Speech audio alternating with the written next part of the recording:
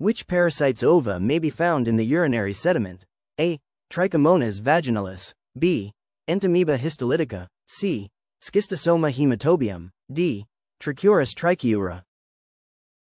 And the correct answer is option C. Schistosoma hematobium. Explanation Schistosoma hematobium is a parasitic blood fluke, and it's the only one among the options known for laying eggs that are passed in urine. These eggs have a very distinctive terminal spine and are often found in the urinary sediment during routine microscopic examination, especially when urine is collected around midday, which is when egg shedding peaks. The infection it causes is known as urinary schistosomiasis, commonly found in parts of Africa, the Middle East, and some regions of Asia. It's transmitted when people come into contact with freshwater containing larval forms released by infected snails.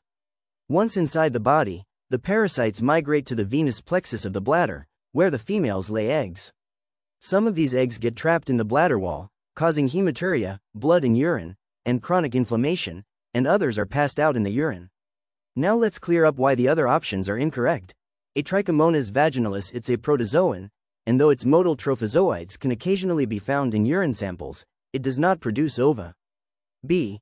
Entamoeba histolytica also a protozoan, responsible for amoebic dysentery. Its cysts and trophozoites are found in stool, not urine. D. Trichuris trichiura the whipworm. It's an intestinal parasite. Its eggs are only passed in feces, never in urine. So remember if you're looking at urinary sediment and spot parasite eggs, your top suspect is Schistosoma hematobium. If you learned something new, don't forget to like, subscribe, and hit that bell icon.